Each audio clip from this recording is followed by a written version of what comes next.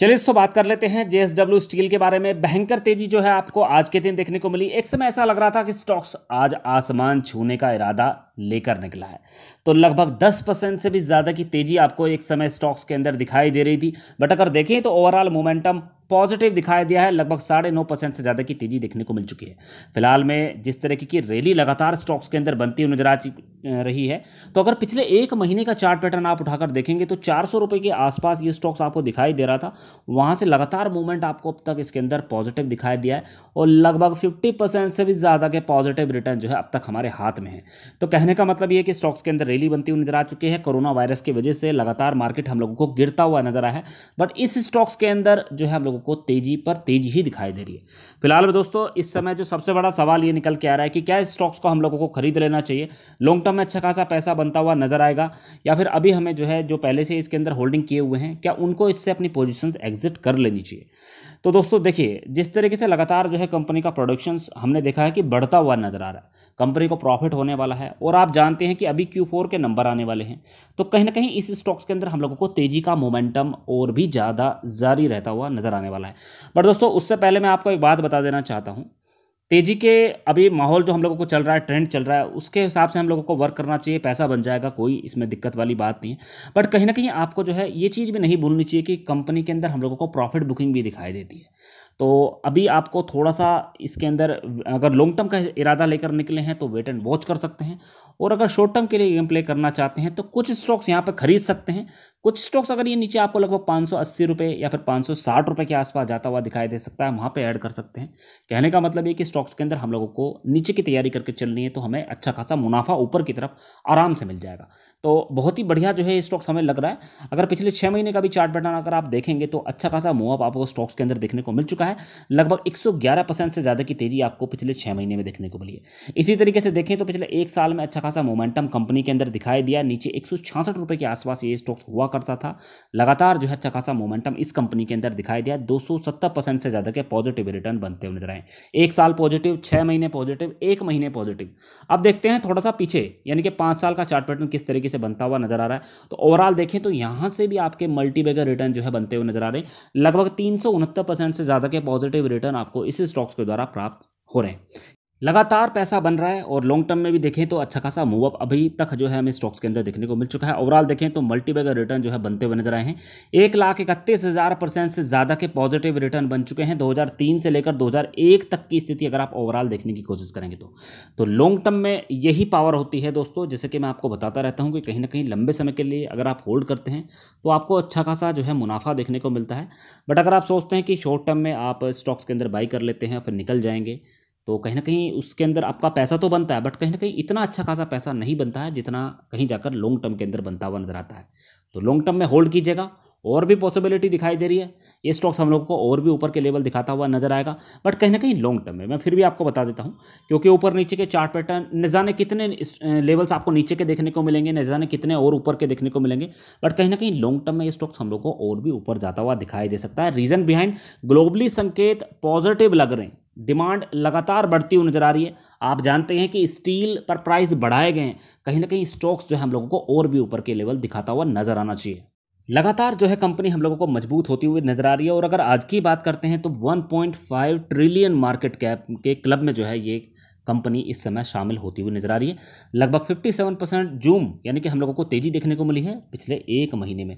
तो अच्छा खासा मोमेंटम आपको स्टॉक्स के अंदर दिखाई दे चुका है। पिछले एक महीने में लगातार जो है स्टॉक्स के अंदर तेज़ी हम लोगों को दिखाई दे रही है। और अगर देखें तो मार्केट कैप के अंदर तो लगातार वृद्धि हो ही रही है। कंपनी की वैल्यू बढ़ रही है। और भी बाकी की कंपनी हैं जो स्टील सेक्टर से बिलोंग करती हैं, उनके अंदर भी हम लोगों को इसी तरीके का मोमेंटम इस समय देखने को मिल रहा है। देखिए दोस्तों, अगर लॉन्ग टर्म में निवेश करना चाहते हैं तो कम से कम आपको कंपनी के जो फंडामेंटल्स हैं, वो ज़रूर वॉच आउट कर लेनी चाहिए।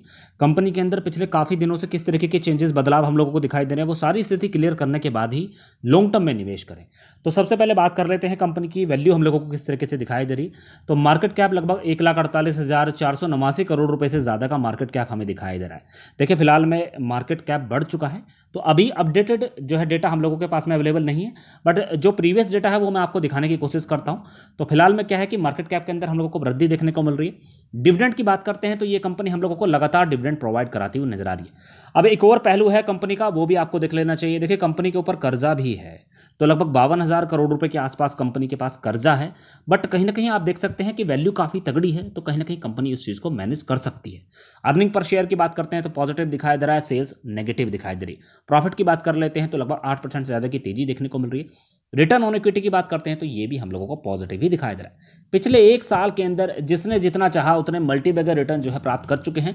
अब तक देखें तो लगातार जो है तेज़ी का माहौल इस समय हम लोगों को दिखाई दे रहा है। अब दोस्तों, अगर बात करें पीयर कंपेरिजन में, जो बाकी की अदर जो कंपनियाँ हैं, उनकी स्थिति किस तरीके से दिखाई दे रही है और जे स्टील की स्थिति किस तरीके से दिखाई दे रही है। देखिए, अगर मार्केट कैप के बारे में बात करें तो सबसे ज़्यादा जो मार्केट कैप है, हमें जेएसडब्ल्यू स्टील का ही दिखाई देता है। उसके बाद में टाटा स्टील का हो गया एक लाख दस हज़ार करोड़ के आसपास है। उसके बाद सेल का हो गया। तो काफ़ी सारी कंपनियाँ हैं तो कहने का मतलब है कि नंबर वन पे जे स्टील इस समय हम लोगों को दिखाई दे रही है। अब दोस्तों सेल्स की बात कर लेते हैं। देखिए, अगर इस साल को छोड़ दिया जाए बट अगर ओवरऑल मोमेंटम देखें तो लगातार जो हम लोगों को सेल्स बढ़ती हुई नज़र आ रही थी हाँ इस साल ज़रूर गिरावट देखने को मिली है। लगभग साढ़े सोलह परसेंट से ज़्यादा की गिरावट इस समय हो चुकी है। बट अगर मोमेंटम देखें, पिछले पाँच साल का तो लगभग साढ़े परसेंट से ज़्यादा की तेज़ी देखने को मिल चुकी है। इसी तरीके से अगर तीन साल का मोमेंटम देखेंगे ना तो यहाँ भी आपको तेज़ी का ही माहौल दिखाई दे रहा है। प्रॉफिट की स्थिति भी आपको इसी तरीके से दिखाई दे रही है। लगातार रुक रुक के कंपनी का प्रॉफिट हम लोगों को बढ़ता हुआ नज़र आ रहा है। हाँ ये बात ज़रूर है कि इस साल जो है कंपनी के प्रॉफिट के अंदर हम लोगों को गिरावट देखने को मिली है। लगभग चौंतीस परसेंट से ज़्यादा की गिरावट इस साल हुई है। बट अगर देखें तो ओवरऑल मोमेंटम हमें पॉजिटिव दिखाई दे रहा है पाँच साल, तीन साल का। रिटर्न ऑन इक्विटी की बात करते हैं तो यहाँ पर आपको स्थिति पॉजिटिव दिखाई दे रही है। एक साल में साढ़े चौदह परसेंट की तेज़ी, तीन साल में लगभग साढ़े उन्नीस परसेंट से ज़्यादा की तेज़ी देखने को मिली और पाँच साल की बात करते हैं तो साढ़े ग्यारह परसेंट से ज़्यादा की तेज़ी देखने को मिल रही है। आर की स्थिति भी मज़बूत दिखाई दे रही है, पाँच साल, तीन साल और एक साल के दौरान। इसी तरीके से बात करते हैं अब जो शेयर होल्डिंग पैटर्न्स हैं तो प्रमोटर्स की जो हिस्सेदारी इस समय हम हम लोगों को दिखाई दे रही है, लगभग चवालीस परसेंट के आसपास दिखाई दे रही है। बट एक वीक पॉइंट भी कंपनी के अंदर हम लोगों को दिखाई दे रहा है, वो है प्लेज होल्डिंग का। तो लगभग इक्कीस परसेंट शेयर्स तो जो प्रमोटर्स हैं, उन्होंने अपने गिरवी रखे हुए हैं। बट यहाँ पर भी आपको एक पॉजिटिव पॉइंट दिखाई दे रहा है। देखिए, ये गिरवी रखे शेयर्स काफ़ी समय से हैं। दिसंबर 2019 से ये होल्डिंग आपको दिखाई दे रही है। बट कहीं ना कहीं अगर तब से लेकर अब तक की आप स्थिति देखने की कोशिश करेंगे तो आपको ये संख्या कम दिखाई दे रही होगी। उस समय लगभग बत्तीस के आसपास होल्डिंग हुआ करती थी। धीरे धीरे करके जो है उसके अंदर हम लोगों को गिरावट देखने को मिली है। हाँ बीच में बढ़ती हुई ज़रूर नज़र आई। बट अगर देखें ओवरऑल मोमेंटम हम लोगों को पॉजिटिव दिखाई दे रहा है। पब्लिक की होल्डिंग की बात करते हैं तो साढ़े पैंतीस परसेंट से ज़्यादा की होल्डिंग इसके अंदर बनती हुई नज़र आ रही है। एफआईएस की बात करते हैं तो तेरह परसेंट से ज़्यादा की हिस्सेदारी देखने को मिल रही है। डी की बात करते हैं तो लगभग six point eight eight percent के आसपास हिस्सेदारी देखने को मिल रही है।